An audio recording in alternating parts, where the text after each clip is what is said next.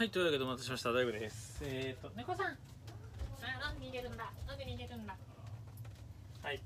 えー、というわけで、猫さん逃げちゃいましたけど、今日はですね、眠れない原因 LINE で分かる説というですね、のをですね、ご紹介しようかなと思います。で、これですね、まあ簡単に言うと、睡眠の質が、を上げるためには何が大事なのっていう話をですね、まあ今までもですね、まあニコ生の放送だったりとか、YouTube だったりだとか、いろんなところでですね、僕お話ししてきたんですけど、どうやらですね、あのー他にもまあ要因があるでしょと。結構ですね、あ、なんかなんかなんか、なんかなんかなんかバレンタインのバレンタインのなんかあの不快な広告が出ましたね。はい。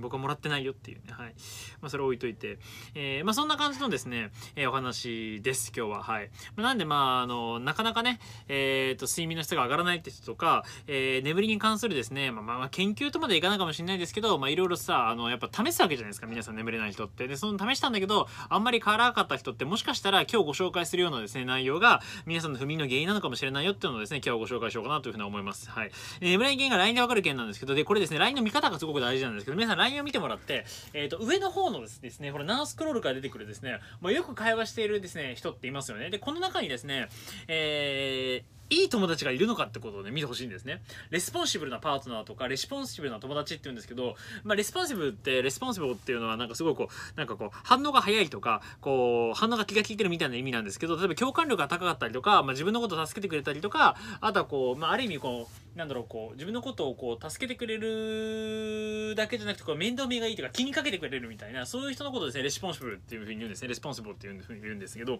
この responsible な、えー友達とかパートナーとかコンビニとかがいる人っていうのはなぜかあの睡眠の質が上がるよって研究が出てるんですだからつまりですね人間関係がいいかどうかで睡眠の質が決まると。で特にこれは近しい人。例えばこうえっ、となんていうんですかね友達だったりだとかあとはこう彼女とか彼氏とか。でこういう人たちが自分のにとって近しい人たちが responsible かどうかで、えー決まるよっていうのはですねこのあの今日のですね研究のメインのお話です。だから LINE を見ていただいて、えー LINE のですね、まあ、彼女がいる人は彼女とか彼氏とかでもいいんですけど、えー LINE を見てもらって最近よく連絡取ってる人って多分上の方にいますよね。でこのですね数人を見た時にその人たちが responsible かどうかっていうのをですね考えてみるといいと思うんですよ。でこの responsible で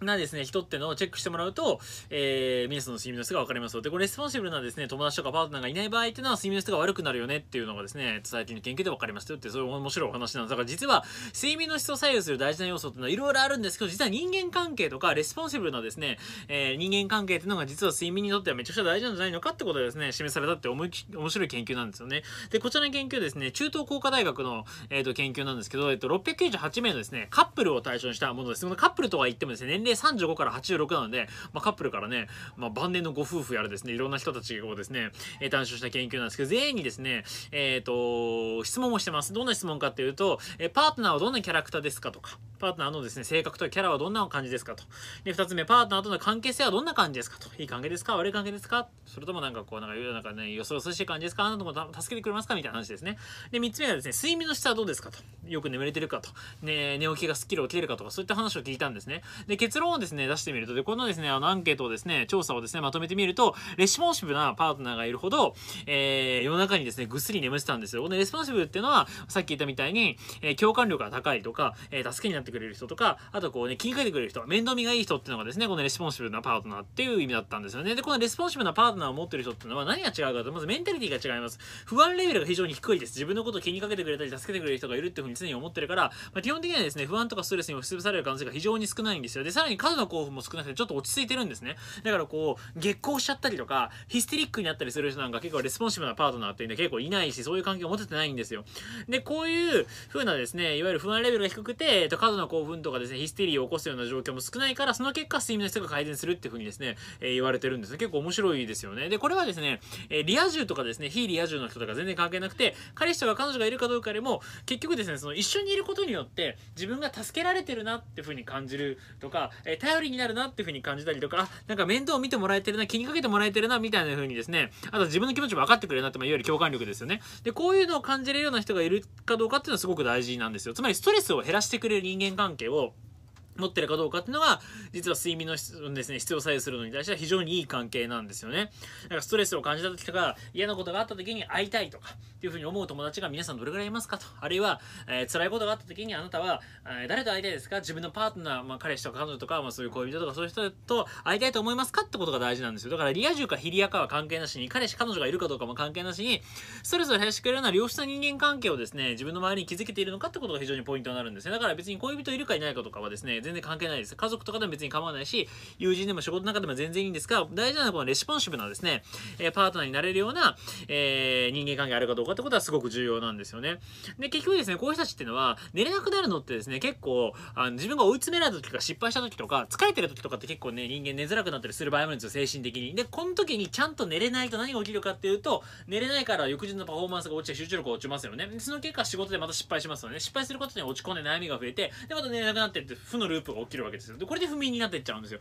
で、これを断ち切るためには、え一つ重要なのは、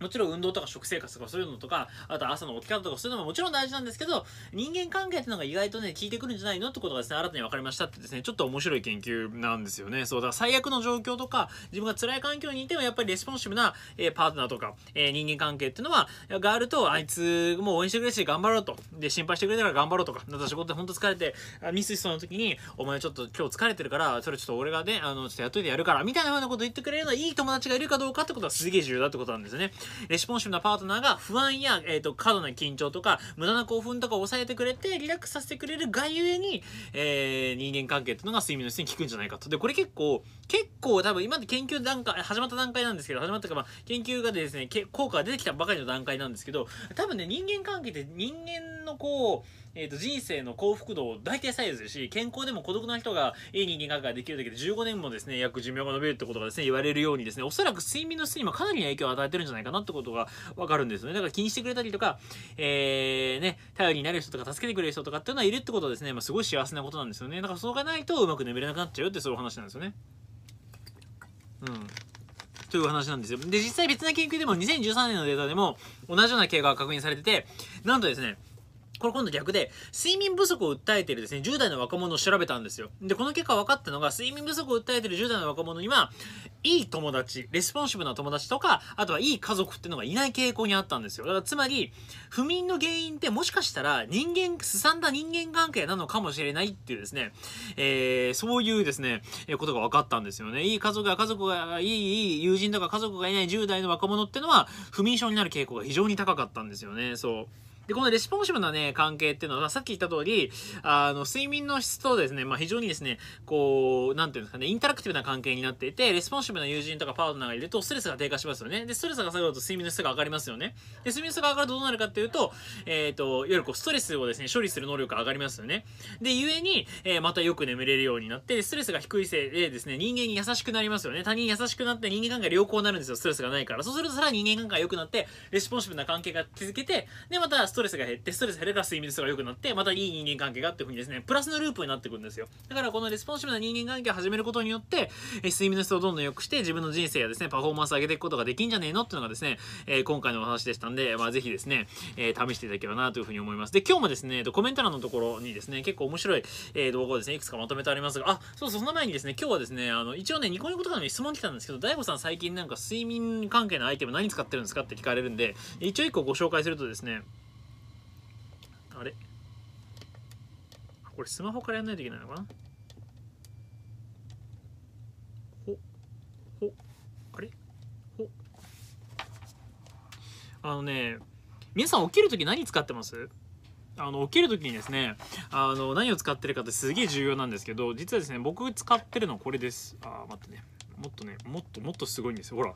わかります？この明るさ。もう完全に鈴木園子さんみたいになってますよね。これ何かっていうとですね、あの、光で起きるのが実はすごくいいって言われて、本当は夜はあんまり受けない方がいいんですけど、光で起きるのがめちゃくちゃいいって言われてて、僕ね、光目覚まし使ってるんですよ、これ。もうほら、カメラに映んないぐらい眩しいっていう、そう。一応ね、2万ルクスぐらいですね、光が出るようになってて、この目覚まし時計。あの、これ、あの、朝日の光と同じぐらいの量を出すって言われてて、そう。これね、すごいですよね。だからもうこ、これぐらいなんですよ。そう。これ顔にめっちゃ当たるっていう、そう。よいしょ。これあの僕使ってます。はい。まあ起きるときはこれですね。光で起きるのがめっちゃ重要なんですよ。で、ところがですね、これやるとですね、あの、いや、あの、よく言われるのが、えっとね、寝つきが悪いんですと。目覚めも悪いんですけど、寝つきが悪くて、これはね、目覚めは良くなるんですよ。で、何回か使ってるとね、寝るのも良くなったりとか、あと集中力上げる効果とかもあるので、午前中とか僕これ浴びながらですね、ここで仕事とかをするんですけど、寝つきがね、悪いって人とかですね、なかなか寝れないってストレスとかでですね、寝れないって人にはですね、あの、僕はあの、メラトニンが入ってるサプリをお勧めしてるんですけど、最近ですね、ちょっと変わったやつが出まして、タイムリリース型のメラトニンってのがあってですね、これ、はい。